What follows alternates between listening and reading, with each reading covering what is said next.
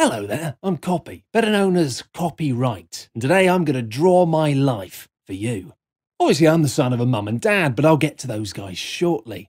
I was born in the 18th century, so yes, that does make me 300 years old. But even though I've been around for a very long time, I promise not to take too long with this. To really understand my history, though, we've got to go way back to my grandma, Mary the First of England, aka Bloody Mary. Now, she had a few problems with a chap back in the 15th century. Yes, yes, this is a complicated story. This is part of its appeal, so just hang with me. Now, this 15th century chap was called Gutenberg, and he invented a machine that was sort of an electricity free photocopier, and that helped to make loads of books for everyone. It was a great success 200 million, 500 million, a billion books in the 18th century. What on earth did people do with all of these books? Did he eat them? I don't think you can eat books. Can you eat books? But the invention of books also brought along something else, something new called intellectual property. Now, what is that? Well, while we're all still thinking about eating books, let's go back to a food analogy. So let's just say you're somebody who grows grapes to make lovely wine.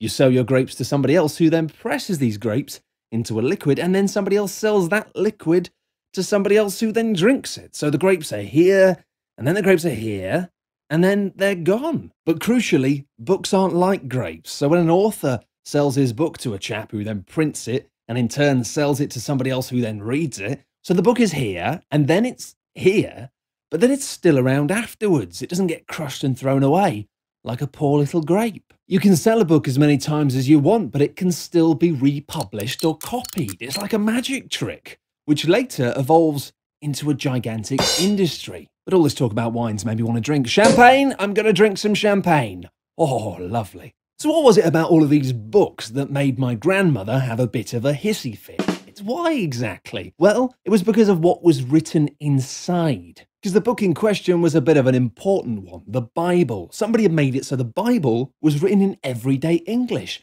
something that anyone could understand. And at that point, that was a pretty big deal. Some people didn't like the idea of anybody being able to read what they thought was quite a special book, and this led to the church splitting into two. So Grandma, Bloody Mary, asked my dad to set up something called censorship. Sounds fun. He set up this tiny clique of authorized printers so that they could control exactly what was being said in these books. Life was good, grandma was happy, but that didn't last. Censorship expired. Now, this was a disaster for the printers who begged for the return of censorship, but the answer was no. So what happened next? They asked my parents to come up with something new to save them, and Dad thought, well, a book is made of paper and ink, so it's an industry. But Mum thought that a book was all about including knowledge, so it was a public property. And together, they had a big idea. They decided to create me, copyright. I'm the apple of their eye. Two ideals mashed together. My main mission is to protect authors, whether or not they want this, and to foster knowledge. Censorship was a big no, but the printers needed something to save them. So, copyright? What do you think of copyright? The answer was a yes. Time for more champagne. Now, it's the good bit. This was where I was born. I was born in 1709. And they called me copyright, as written here on this pretty piece of paper. Yes, it's my birth certificate. Isn't it lovely? And what I do is I give a quid pro quo, which sounds cool, but in English that basically means something in exchange for something. When a person's clever enough to create a work that benefits mankind, then he or she has the copyright for a specific time in exchange for the benefit created. You've done humanity a favour by making something cool. In exchange, we're going to make sure that you get what you deserve for it for a pretty long amount of time.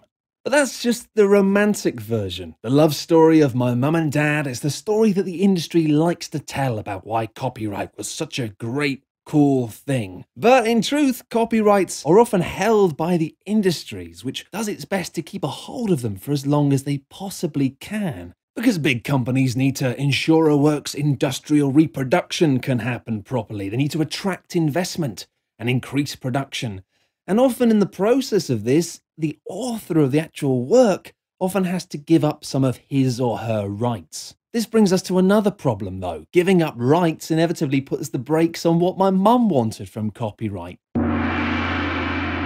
Open access to all knowledge for everyone, and that's something far more important and oddly, perhaps ironically, what English speakers call quid pro quo became qui pro quo in French. And to a French speaker, qui pro quo means misunderstanding. Anyway, that's how I was born. Now I want to live as I please. I'm going to become a real star. Just you watch. Watch this. And Vumph, just as copyright was applied to books, I've also been applied to poems, songs, letters, sculpture, drawings, dance, mime, opera, films, and so on. Everything, even circus acts. I'm everywhere. So I got bigger. I got bigger. I need a bigger glass of champagne, the biggest you've got. Zooming ahead now to the 19th century in Bern, every country decided to adopt me.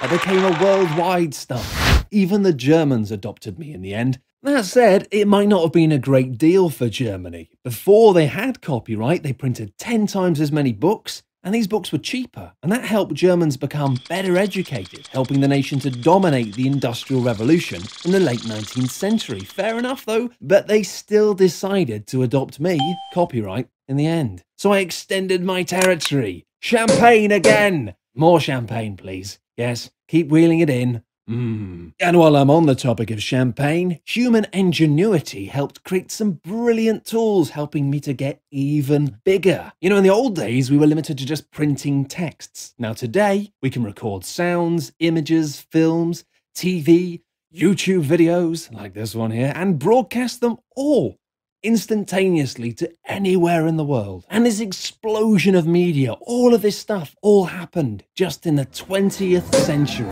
Now it's party time. Even Dad can't keep up. Anyone for more champagne? I've become the top guy. I'm rolling in money, and when people talk about me, they say, show business. You know, last Sunday I dropped around to mum and dad's place for dinner, but there was a, a lot of sh shouting. Mum said that people have forgotten my original mission, what I was all about, and that each of my adaptations always work in favour of the industry and never in the public's interests. And, you know, I think she's got a point. But then Dad smiled wryly and said, Well, it's better to induce envy than pity, and I guess he's also got a point. On the one hand, copyright does help people make money for the things that they've made, but sometimes it restricts work from getting out there to people. So even though I'm bigger than ever, I'm not really sure if I'm properly doing my job. Anyway, that's my amazing life over 300 years. And I don't look a day over 20, do I? Anyway, now it's time for the 21st century. People still have two arms, two legs, two nostrils, but everything has changed because we now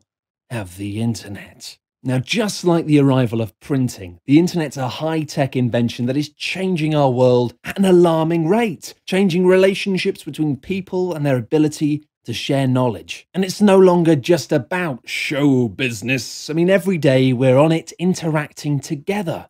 And as for me, my last upgrade was back in 2001, before YouTube, Facebook, or Wikipedia. The world's a completely different place, but the rules I operate on are still quite old fashioned. So that's why I decided to create this Draw My Life to explain my origins and mission to as many people as possible. Copyright to encourage creation. You see, I wasn't just a tool designed to help make people money. I was there to try and encourage people towards a goal, and that goal was creativity. Thankfully, it's time for me to have a bit of an update, and my reform is now taking place at an EU level. The next episodes will try and explain complex things in simple terms, like how to fix copyright on the web and elsewhere. We'll also talk again about loads of misunderstandings that are heard around Brussels. It's going to be great. So be sure to subscribe so we can talk about my life a bit more. And even though I haven't earned it, I'm going to have some more champagne. Champagne! Please, just a bit more.